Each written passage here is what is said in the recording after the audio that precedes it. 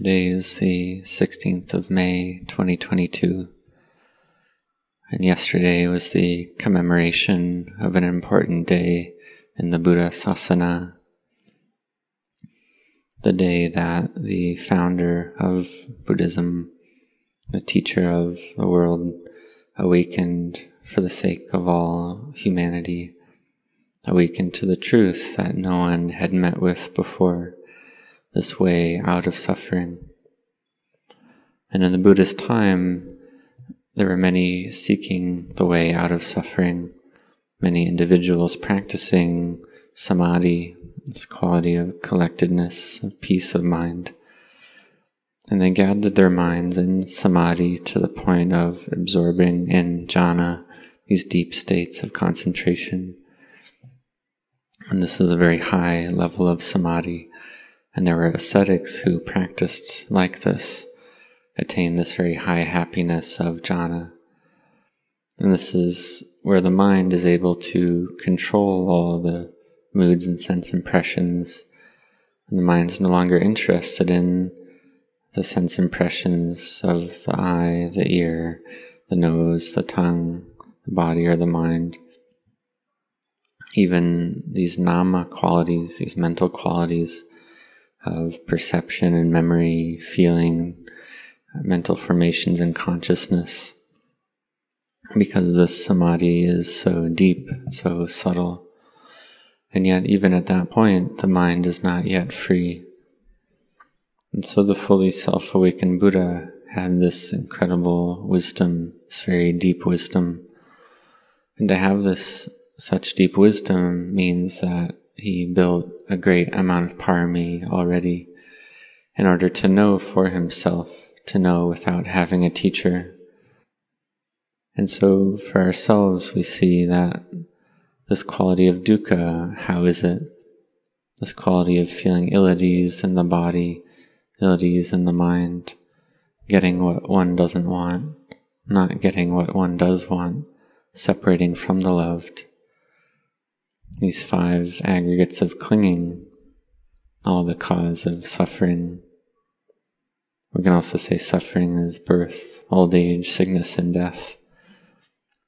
And having died, then we must circle around again and be born again according to the energy of merit and demerit, which bears fruit according to their respective uh, karma of merit and demerit. We see that if one has samadhi to the level of jhana, one uh, can be a Brahma deity. But even when this jhana energy declines and goes away, then one is born again. But if one has the energy of jhana to the level of a Brahma deity, then after death one can be born as a human, not going down to the lower realms. So therefore, for ourselves, we have this opportunity to study and learn the Dhamma. If we really set our hearts on it and we practice and we're sincere, it's not beyond our ability to understand and see. Because the Dhamma, the qualities to succeed in the Dhamma, the Buddha has taught already. We call the four bases of success, the Iddhipada, which are chanda, virya, citta, and vimamsa, these four qualities. And so the first of chanda is this quality of liking or enjoying setting our hearts on something. So that means we have chanda in that activity. For example, studying, learning, we really set our hearts to learn that subject because we like learning that. We investigate into it, we study it until we're skilled at it. So we have this effort to study, and then it's not hard to succeed. Or if we're doing work and we like and enjoy that work, then we do it. We have striving and effort, and then we can succeed in that work well. So in terms of Dhamma, this, these bases of success they're dhammas that lead to seeing and knowing the Dhamma. So it's normal that we have this firm intent, we strive, we enjoy the Dhamma practice, for instance, practicing generosity, chanting, morality, meditation, and then we do it evenly, continuously. And then we look at and observe our minds. And so we also have these five faculties, the indriya.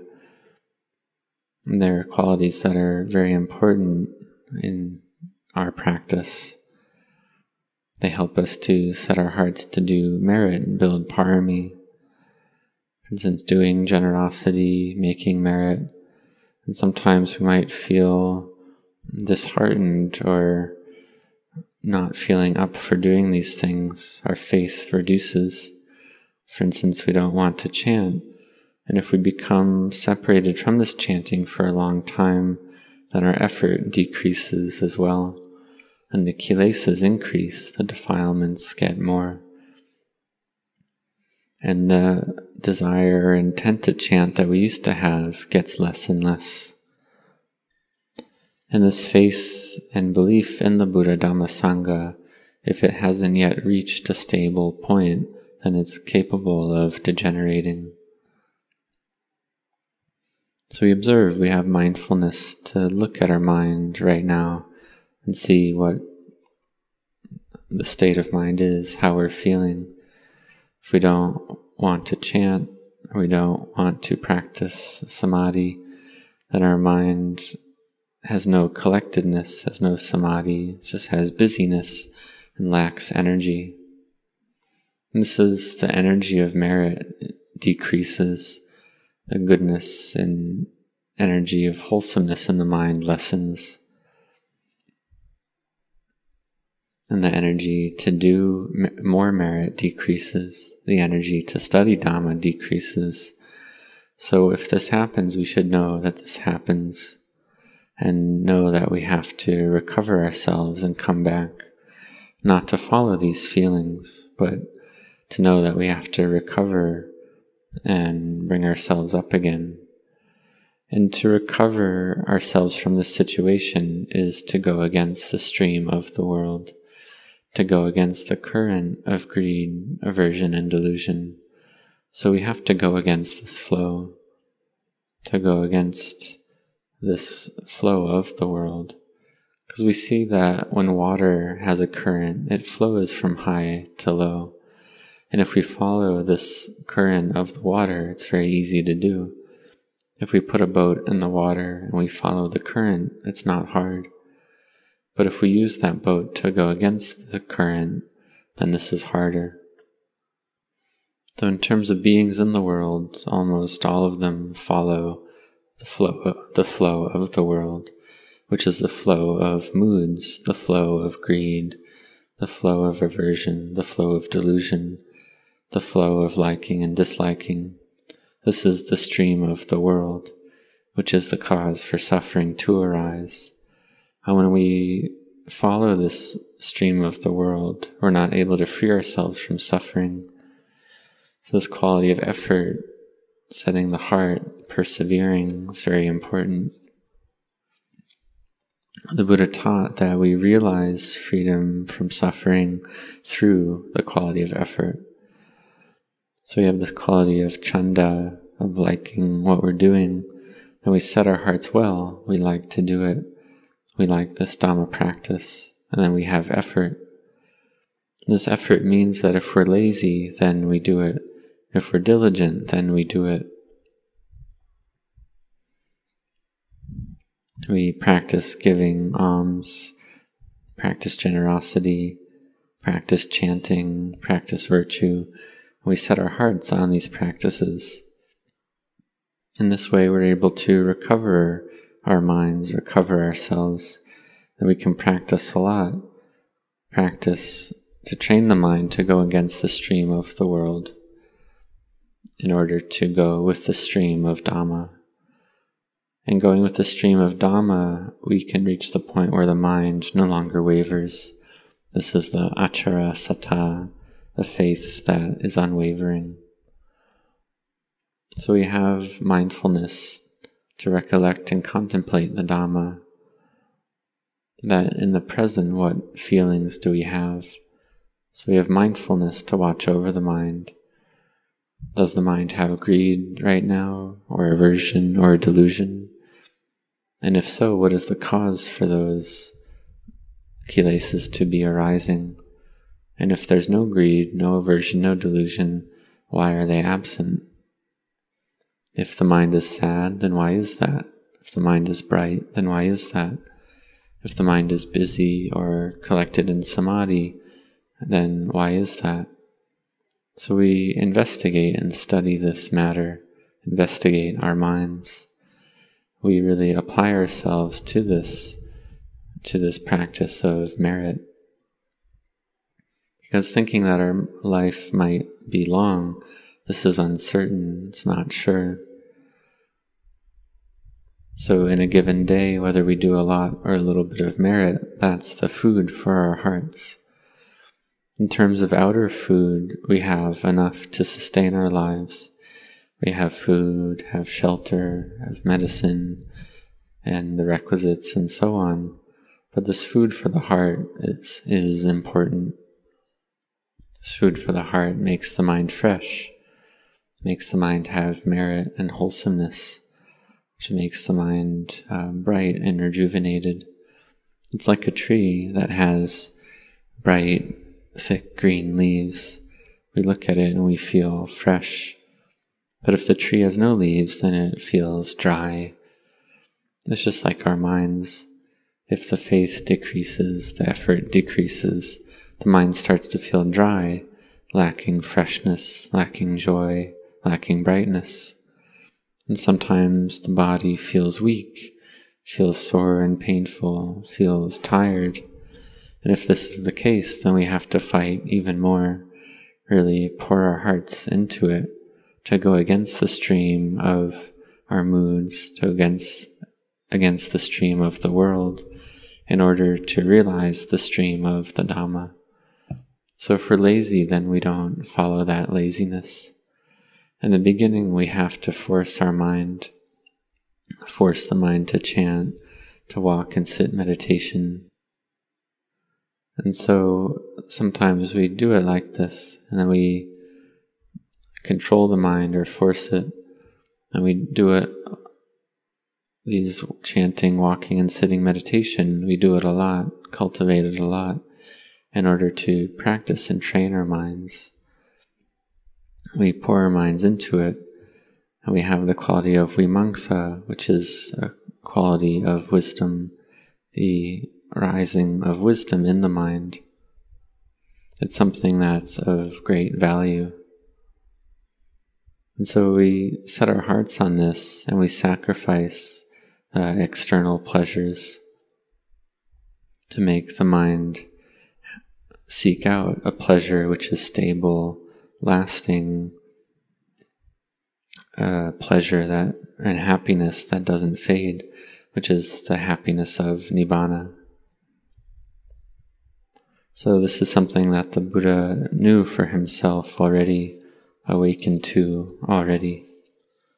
Then the Buddha had the great loving kindness and compassion to teach the way to realize this lasting happiness, this way which is setting the heart, having effort and perseverance, really applying the mind with effort to investigate into the Dhamma, to seek out cause in result, to understand cause and result in terms of the Buddha that the Dhamma, or the Dhamma that the Buddha taught. To see that the body is not me, not mine, not self.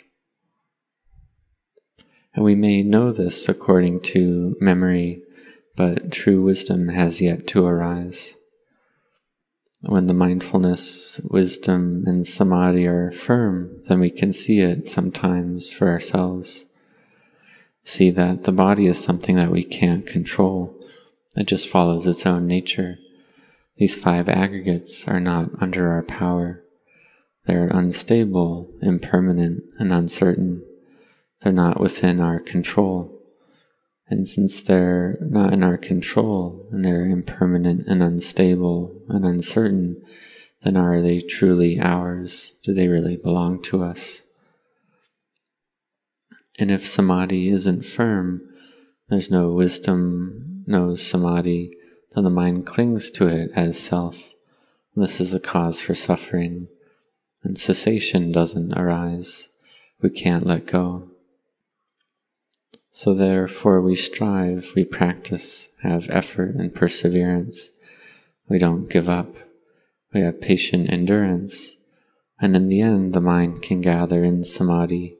Wisdom can arise bit by bit. So we practice to contemplate all the time that these lives of ours are something uncertain, unsure. We practice not to be heedless in our lives. This is something that the Buddha warned us about not to be heedless. So we set our hearts not to be heedless, to follow the teachings of the Buddha. And we can realize this in not no long time. But we have to patiently endure first, and then we realize the fruits according to our effort. So we see everything as impermanent. We understand this Dhamma clearly so, this is something we strive to realize. And when we see this for ourselves, the energy in the mind increases. And then at this point, no one has to tell us what to do or warn us anymore, but our own mindfulness and wisdom uh, stirs up our own efforts of its own accord. Our own mindfulness and wisdom awakens us to sit and walk and chant this is something that the great teachers have taught that a practitioner who has uh, vimamsa really sets their heart on the practice, and the practice becomes even and balanced. Even if, if one has a very strong illness, one is very sick, even then one doesn't give up. One still has effort to wake up at 4 a.m. to practice every single day. And this gives the mind energy and strength. For instance, some lay people wake up early every morning to make rice and prepare food to give alms. And they do this every day. So this is having effort. And so in terms of practice and meditation, we have effort as well. We set certain times of the day for meditation that this is a time to do formal practice, to meditate. We don't just let go of our daily schedule and just let our time become wasted. But we have vimamsa, this wisdom quality, which is part of the four bases of success.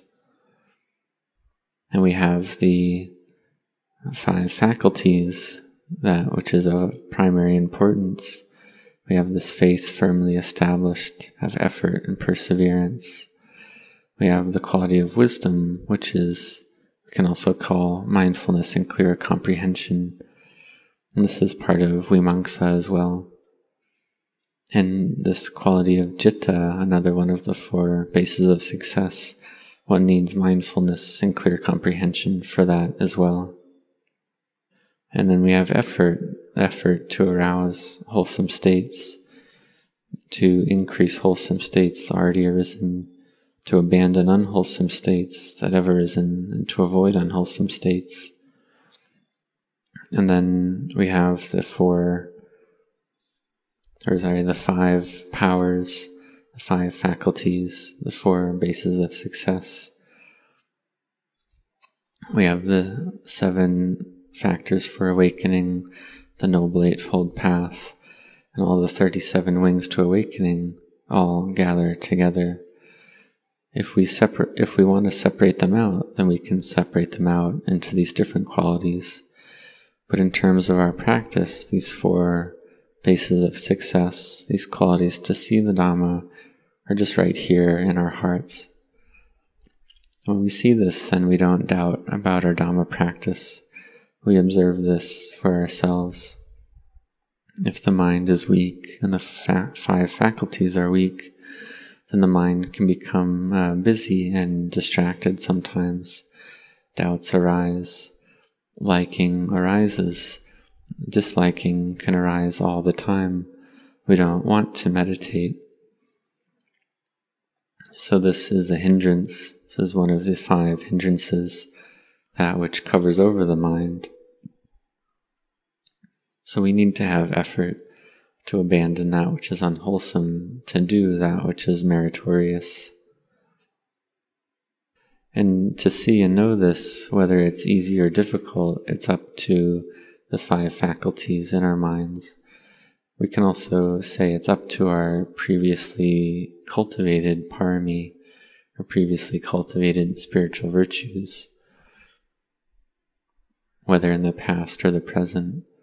If in the past we've only cultivated a little bit of parami, then if we do a lot in the present, then we can see the Dhamma all the same.